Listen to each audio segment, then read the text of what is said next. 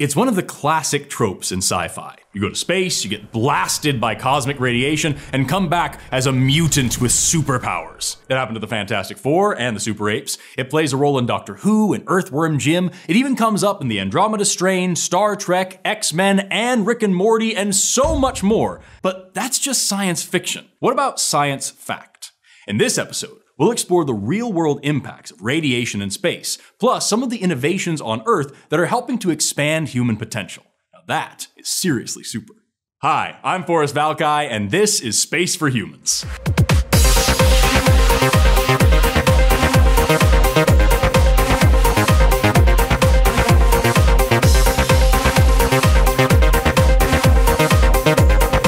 So, what happens to real humans when they're bombarded by cosmic radiation? To answer that question, NASA looked not to a Fantastic Four, but to a tremendous two identical twin astronauts, Mark and Scott Kelly.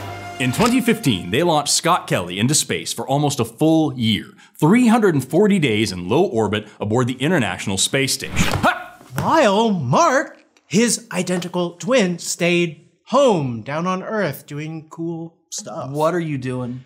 Twin study, twin hosts. Double the DNA. Double the science! NASA's landmark twin study was the first of its kind to use identical twin astronauts to investigate the effects of long duration spaceflight on the human body. Like bone loss and muscle deterioration. And you can learn more about these physiological impacts in my space exercise video.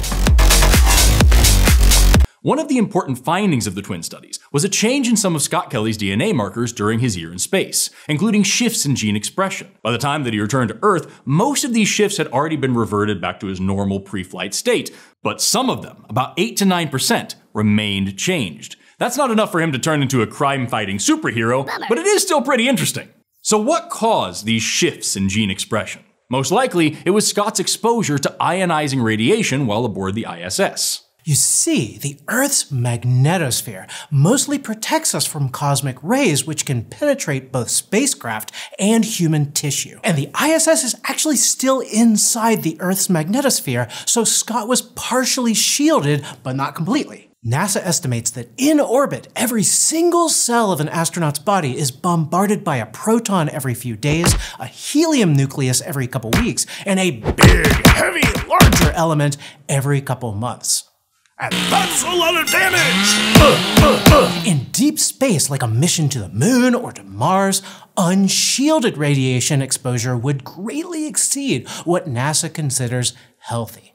And that's a problem we need to solve before we suit up humans for long haul flights to other planets, because when it comes to health and safety, a neck pillow isn't going to cut it. But the twin study helped us better understand the risks so we can focus on developing solutions. So, what exactly happened with that 8 to 9% of Scott's DNA markers? And what do we actually mean by DNA markers anyway? Let's talk for a second about epigenetics. That's it for me. We only need to see one forest for the phylogenetic trees. Uh. Thanks, Eric. Epigenetics refers to molecular processes that modify gene activity without changing the underlying DNA sequence itself. Think about this. Your DNA is the same in almost every single cell in your body. That means that your eyes and your bones both have the exact same instruction manuals to work with. So why aren't your eyes made of bones and your bones made of eyeballs? It's because epigenetic differences in those cells causes different genes to be turned on or off.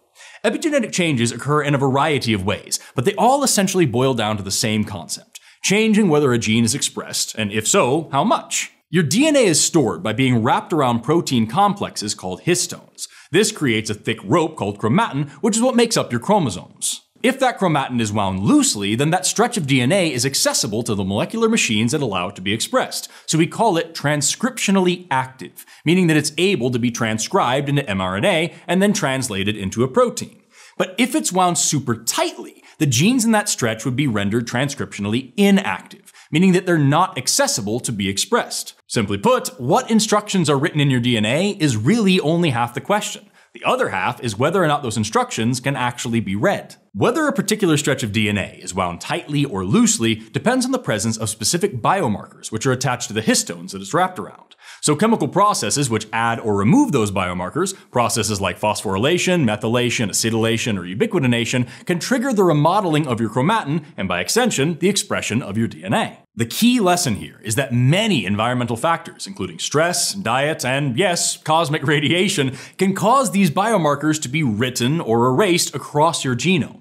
For example, smoking has been shown to cause epigenetic changes which can switch off certain protective genes, and living a healthier lifestyle has been shown to reverse these changes. So your day to day life is at least partially in control of how your DNA is expressed. And just when you think you've got all that figured out, RNA comes along and makes everything infinitely more complicated. You see, RNA isn't just the stuff that carries the instructions for a protein. That's just mRNA. There's also rRNA, which is what ribosomes are made of, and tRNA, which carries amino acids, and a few dozen more types of RNA, all of which do pretty incredible and vastly different things. One of those is a type of small, non coding RNA called microRNA, which is responsible for post transcriptional gene expression regulation. Remember the simplified pathway that we talked about just a moment ago. That DNA is transcribed into mRNA, which is then translated into a protein. Well, microRNA works by binding to and destroying mRNA. That means that you can have a gene which is wound as loosely as you like and being transcribed like crazy, but you have another part of your DNA that's coding for a specific microRNA, which makes sure that none of those transcripts ever get translated into proteins. That's what we mean by post-transcriptional gene expression regulation. And yes, the expression of that microRNA can be influenced by other epigenetic factors. One important thing to keep in mind through all of this is that epigenetic changes are not technically mutations. Mutations are changes to the DNA sequence itself, which are often far more dangerous, harder to detect, and much more difficult to reverse. But from the outside looking in, both mutations and epigenetic changes look awfully similar. It's also important to remember that just like mutations, epigenetic changes aren't good or bad by themselves. Instead, like most things in biology, they're dynamic and contextual. Our genomes are loaded with epigenetic information from our evolutionary history, which is proven to be adaptive and helpful. But sometimes things can go in another direction, with epigenetic changes also being linked to things like changes in immune function, or aging, or even cognitive decline. This is a relatively new area of science, and there's a lot more learning and exploring to be done here, and you could be just the scientist to do it. The instructions for a human body are a lot more complex and interesting than those of some IKEA shelf. But in both cases, those instructions are pretty important to, well, shelf life.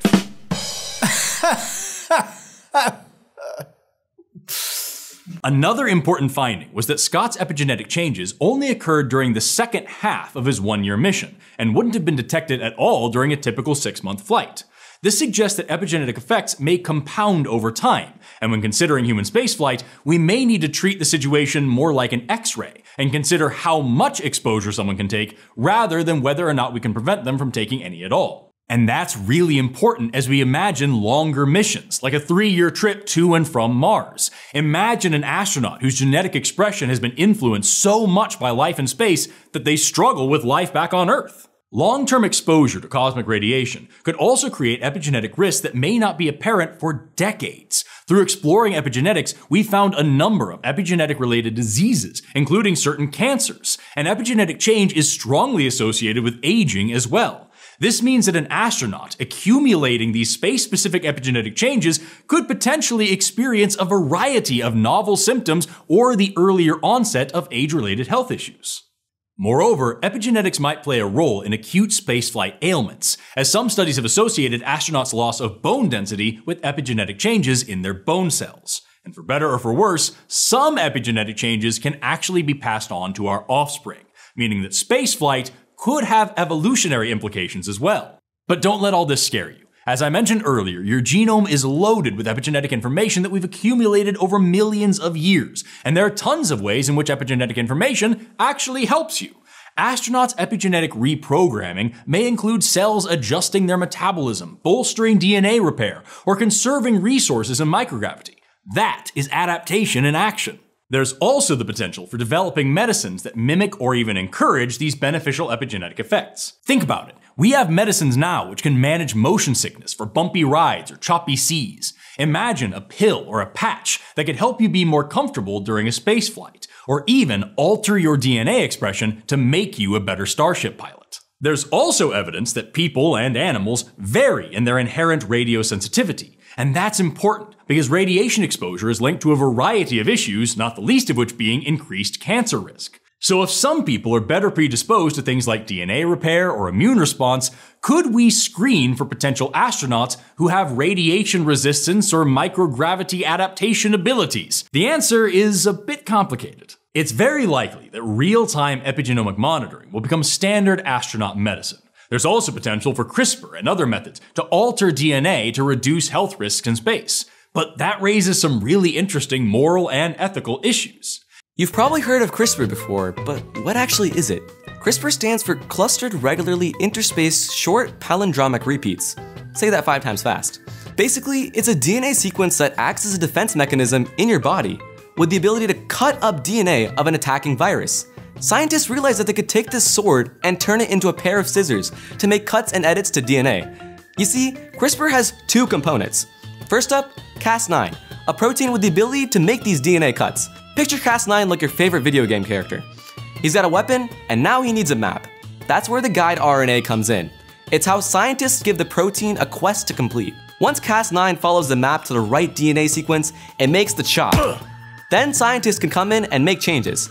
And that has a lot of incredible potential, from fighting diseases to growing stronger crops, but it's also really expensive. And like Forrest says, it raises a lot of serious ethical issues.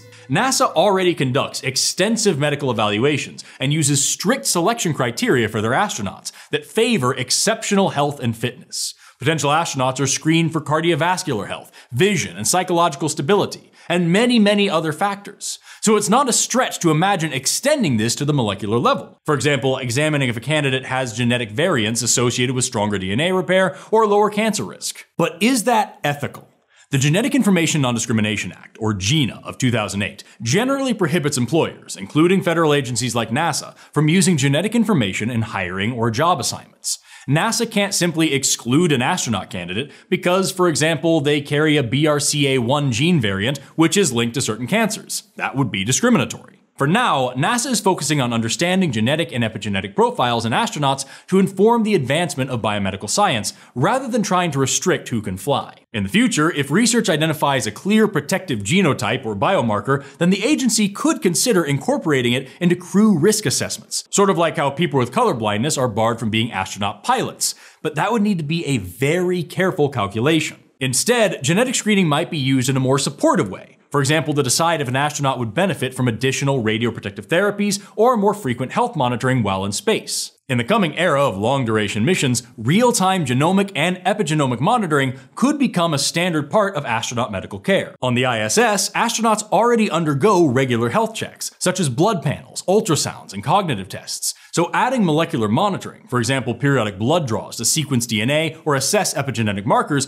could allow flight surgeons and other medical professionals to detect potentially harmful changes early. NASA, along with Genes in Space, have already demonstrated real-time sequencing of the genes of certain microbes, and even conducted CRISPR gene editing experiments on yeast aboard the ISS in order to study DNA repair in microgravity. Depending on what we learn from these kinds of experiments, technology like CRISPR could be used to enhance radiation resistance in astronauts by modifying their genes to allow for better DNA repair or cell survival.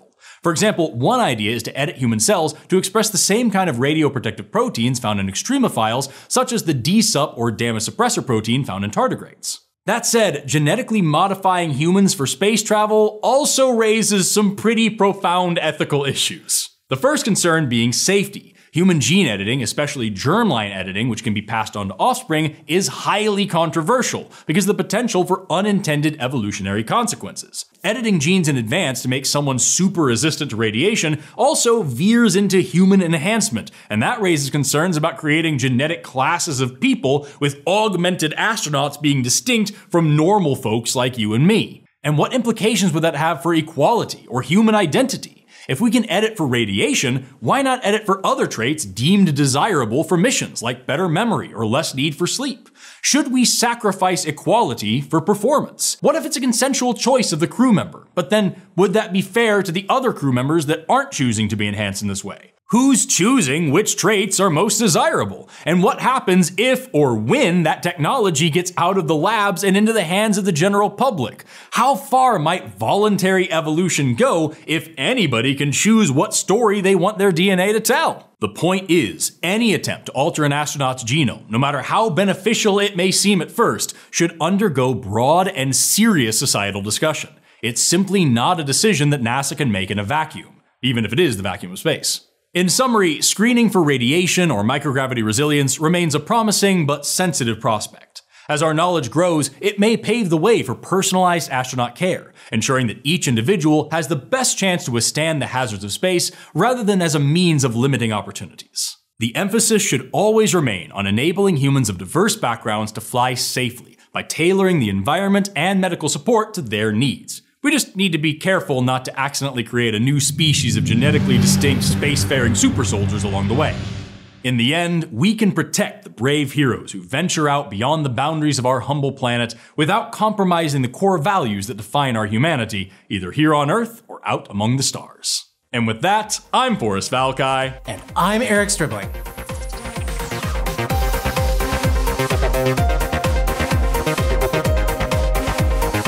If you want to learn a little bit more about biology, you can follow me on my channel or find me at valkailabs.com. Please like, share, subscribe, and hit that bell for more Space for Humans. Never stop learning. the meat. Eric, wearing the same shirt, now comes on the screen with me and says Mark stayed home.